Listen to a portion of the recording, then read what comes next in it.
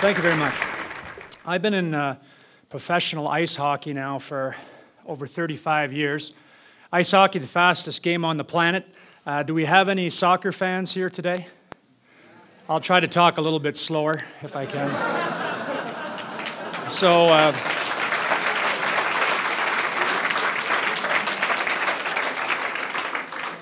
there's a few things. There's a, we're going to talk a, a, few about a few things today. Uh, we have limited time. These are the type of things I could go on talk for hours. Trust me. And we heard a little bit the first speech today about how important it is to listen. Uh, that I always work on as a coach, but uh, I'm a natural talker. So hopefully you come away with a few things today. Uh, over that time, I've had uh, so many opportunities uh, to meet so many great people. Been a part of many winning teams as a player and as a coach, and met some great people and sports psychologists. And uh, along the line, we always come back and we start talking about the same things. How do you build a winner? What's it all about? What are the things that you need? Why is it always the same organizations and the teams that are on top? As soccer fans, if I was to ask you, like, what is uh, organization in Europe that is constantly on top? If you ask about a winning uh, soccer organization or a football organization, most people would come up with Man U, Manchester United. If you're uh, an American in the States, we talk about baseball. Generally, you come around to the New York Yankees. Ice hockey, newer generation would talk about the Detroit Red Wings. Older folks, or older generation, would talk about the Montreal Canadiens. These are winning organizations. When you talk about the corporate world, and I've had many opportunities to talk and meet with uh, corporate people, and we all love sports. We all talk about sports. But in the corporate world, organizations that are constantly on top have been for many years Procter & Gamble, Johnson & Johnson, Coca-Cola. These are names that you've grown up with, and they're always there. And the question comes to, how do we build a winning team? What are the ingredients that go into it? How do you build a winner? And then once you've got that winning team, how do you keep it on top? And that is the biggest challenge. As Vince Lombardi, longtime coach of the Green Bay Packers, says, winning is a habit, unfortunately, so is losing and it's all about building good habits. And we'll talk about that in a little bit. So, first of all, what do you need? What are the success factors? What are the things that we need to build a winner? Well, you need talent, you need strategy and tactics, that's where I come in, leadership, okay? You need uh, chemistry, we're talking about team chemistry, and you need commitment. Now, as an exercise, whenever I take over a new team, I'll generally send them a, a, little PowerPoint in the summertime and get them thinking about the season coming up.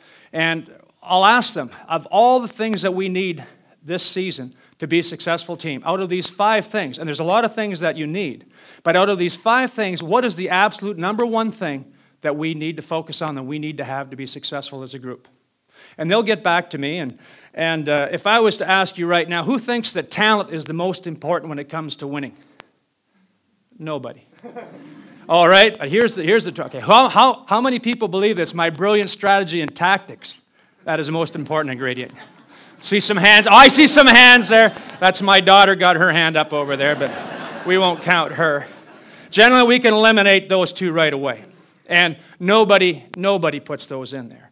It generally boils down to when the guys get back to me leadership, chemistry, and commitment. Well, we don't have time to talk a little things, just a couple things about leadership. And when it comes to sports, I think Steve Yzerman says it best. Steve Yzerman was one of the youngest captains of all time in the National Hockey League, won at least three Stanley Cups with the Detroit Red Wings, I believe. And he put it this way I always try to do what's best for the team. What a great attitude. Another great hockey player you might not have heard too much about, Albert Einstein. Leading by example is not the best way to lead, it is the only way.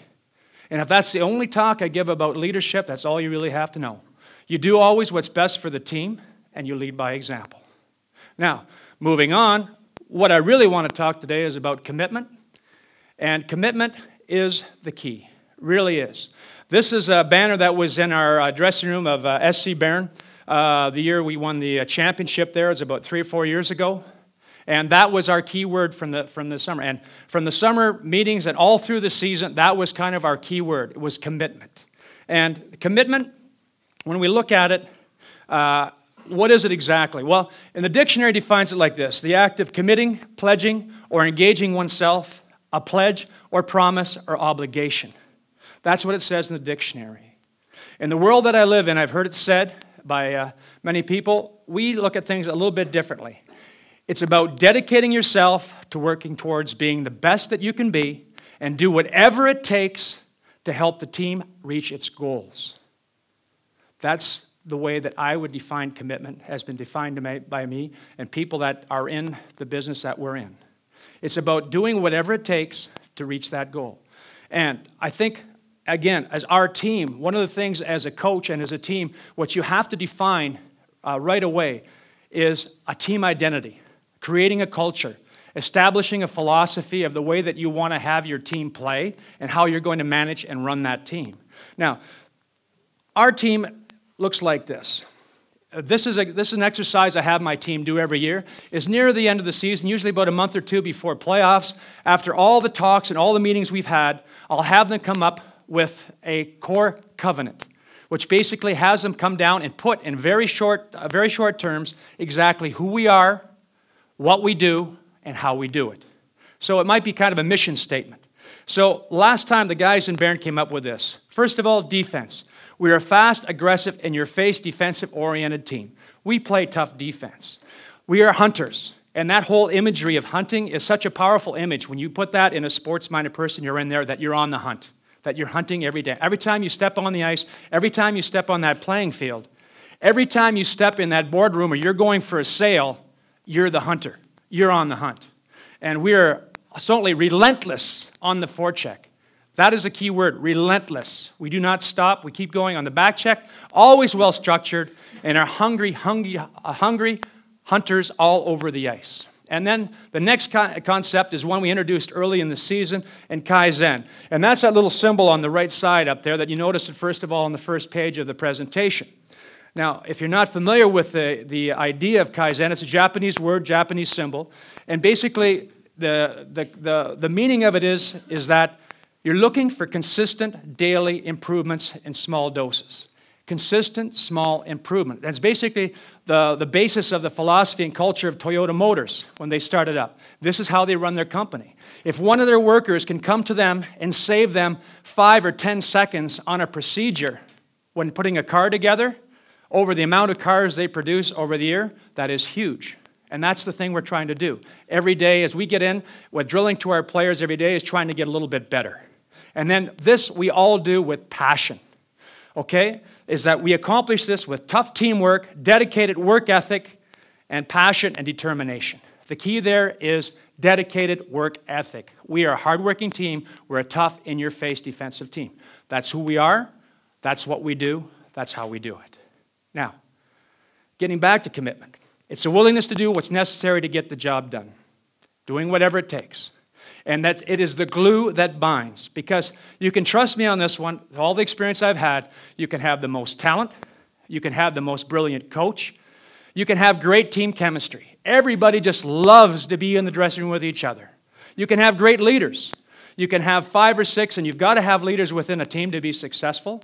But the thing is this if you do not have the level of commitment necessary to pull all of that together, you do not have anything. And I can, I can, I swear on a, on a stack of Bibles that big, that is the truth. It's all about commitment. It's all about the level of commitment that you have. And then it's about that willing to do whatever it takes. And now, it's about living in the world of the unnatural. What are you talking about, Larry? Living in the world of the unnatural. Uh, I took a year off of coaching this year. Uh, I've been at it for about 25 years, so I think that was okay to take a break and do some different things. One of the things I was able to do, I was able to follow my youngest son's uh, hockey team around, and my youngest son played at the University of Utah. Go Utes! Any, anybody from Utah out here? Uh, oh, yeah, my daughter, thank you very much. and uh, so uh, we were in uh, January, we were down in lovely Flagstaff, Arizona, playing against Northern Arizona for a couple of games. And I was wandering around town the one day, and I noticed this little rib restaurant there, and it was just packed. Microbrewery, rib place. And I said, I bet you that looks like a pretty good spot. So, night before the game, I wheeled in there. The place was packed, but I was able to find a place at a bar and sat down. And I was there, ordered, and I was talking to the lady there, and and she, she suggested these, uh, a full rack of these honey glaze with some Jack Daniel sauce. I can't remember, they were fantastic. Anyway, I'm sitting there. I just get this ribs delivered to me, and this young couple sits down beside. We'll call him Lauren Collin. So Lauren Collins sit down beside me, and we get to talking. We start to talk, and and uh, uh, talking to me, and it turns out I find out that yes, I'm a hockey coach. That's what I do, and it turns out that she is a world class triathlete, international world class triathlete, and her fiance is actually a personal trainer. I might have guessed that when they only ordered a half a wrap of ribs between the two of them. I said, now there's got to be something more to it than this. But we got to talking about this, and, and one of the things that came out in the conversation was that Laura was a little concerned that her friends thought she was a bit of a freak because she would get up in the morning at 3 a.m., five days a week. She would swim two miles and then run, five, uh, run another five miles just to warm up before she would go to school, working on her master's and working full time. She would do that, and then at night she would train again, go to sleep, get up, and do it all over again. And again, we're talking about an Ironman triathlon. That's 2.4 miles of swimming. You got 112 miles, 180 kilometers of biking, and then that's the warm up. And then you're going to get out and you're going to run for 42.2 kilometers. That's in one day at the same time, one after the other. I get tired just thinking about it. but this is her life, this is what she does. And I told her a story. I told her a story that uh, happened to me just recently. My last team, uh, we had a problem in our team, is that we had a problem with discipline. And uh, we were taking a lot of stupid retaliation penalties. And I call those DARPs. And that's a D A R P for dumbass retaliation penalty. And usually, when you take a DARP, they come right back to bite you in the butt. And uh, we'd gotten pretty, good because we started finding guys. We started finding guys 200, uh, 200 bucks every time they took a stupid retaliation penalty. And we kind of got things under control. And one night we're playing in Zurich, very, very uh, important game near the end of the season. And uh, we got about five minutes left to go in the game. We're up 1 nothing. And one of our players goes to the front of their net. We'll call him Danny goes to the front of their net. There's a little bit of a scuffle. Their defenseman gives them a little bit of a face wash with a stinky glove. If nobody's had a stinky hockey glove in their face, it's not very nice. But at the same time, it's part of the game. What does he do? He comes up and cross checks him right in the face. Of course, the referee doesn't see the stinky glove, but he does see the cross check. Two minute penalty in the box. They score a minute and a half later. Now we're tied in the game. Now he has to skate all the way across the ice to face me on the bench. He's getting to the, before he even gets there, he's starting to talk to me. I said, I do not want to hear it. Just sit down at the end there. I don't want to see or talk to you anymore. And he, he comes up and he says, Larry, but it was a natural reaction. I said, I don't care. Maybe it was natural for you. Just sit down there. As it turns out, we go into overtime, lose the game. I am really sour. So after the game, I said, I don't want to say anything. If I start talking, who knows what I'm going to say? Did not say anything. Uh, next morning, was the time that I was going to talk. But that night, I got thinking about that, and I, and I got to think a lot about that. You know, so he was right. He was absolutely right. And the next morning, when I, I addressed the team about this, because everybody was waiting to see what I was going to do about it, and uh, I just told them, I said, Danny was right. It was a natural reaction. But you know something, guys? What we do, what we, what we, who we are, and the type of uh, uh, of team that we want to be, if we want to be a championship team, it's not about doing what's natural. It's about getting into the world of the unnatural. It is not natural to take a punch in the face and not retaliate. That's not natural. Somebody punches you, you punch them back. It's not natural to lay down on the ice when somebody's winding up to take a slap shot with a very hard puck that's going over 100 miles an hour and block that shot. Those things hurt. That's not a natural thing. Sane people would not do that. It's not natural to stand in front of the net and act as a screen on the goalie while your defenseman is winding up to shoot the puck, going you know, like centimeters one side or the other to try to score a goal. Again, not natural. Sane people do not do that. But to win a hockey game, to win championships, these are the kind of things that you have to do. It's not natural to stay up to 2 o'clock or 3 o'clock in the morning at the office to make sure that your presentation the next day is absolutely perfect. It's not natural to do an extra 15 hours or 20 hours of research on a, on a potential client because you want to nail down this sale. But those are the type of things that really close the deal. So it's about getting into the world of the unnatural. And as a coach, our challenge is, is to make the unnatural natural, to push them to that. And where does that come in? Well, greatness comes with a price. The, name of that, uh, that price is sacrifice. Now, this is a very simple plan for success. This was uh, in our, our, our, locker room in uh, Lugano. It's a, the pyramid of success. At the bottom, form good habits, going all the way up to sacrifice at the top. And there's a reason for that. And we had the same one in Bern. The only difference is one side is Italian, one side is German. But the top of it is exactly the same. And the reason that it's at the top is because it is the most difficult thing to get.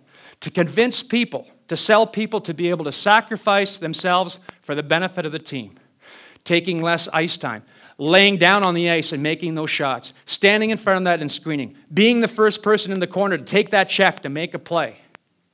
Maybe not playing the same type of role you played before, perhaps playing with, with uh, younger players because we need a veteran presence on that line. Sacrifice is a big part of it, and that's why it's near the top because it's the hardest to get right after mental toughness. So, what are we talking about here? We've got these three things, and if I leave you with these three, if you remember these three words, you'll be, you'll be on, well on your way. First of all, it starts with commitment. The level of commitment that you bring every day to whatever you're doing, whatever you do at your workplace, if you're in a sporting team, it doesn't really matter. If you're part of a group and you want that group to perform, it's your particular level of commitment and the level of commitment that your team, which will dictate how much sacrifice that you're willing to put in every on a daily basis to make yourself and that team the best it can be. And that willingness to sacrifice, the amount of it, is what's going to drive you into the world of the unnatural to make it natural. Now, these things will not make a bad team a championship team. But the difference here is, and believe me, when it comes down to high level sports, there's so, there's so much equality in sports these days, it's the little things that make the difference. But at the end of the day, it will make a bad team a good team, it will make a good team a great team, and it will make a great team a championship team. Thank you very much.